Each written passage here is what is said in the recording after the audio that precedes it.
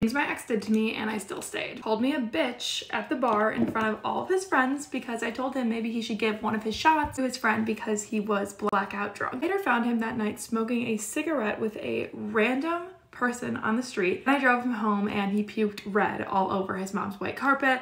And yes, I did stay up all night to make sure he was okay while his head hung in the toilet. Told me he was going to the bar with his friends and I later found out that none of his friends could actually make it. So it was just him and his girl best friend who he once asked out on a date when they first met, hanging out at the bar till past midnight, refused to speak to me on a three hour car ride after I surprised him with an all expenses paid anniversary trip because I simply asked him if he could hurry up because we were going to miss our reservation that I made. And by asking him to hurry up, he refused to talk to me and I cried the entire three hour car ride. Continued to tell me that him and his girl best friend did not have feelings for each other even after I found a text on his phone where she said she lost her key to her apartment and she might spend the night at his house. In conclusion, we are no longer dating, but he is dating his girl best friend now.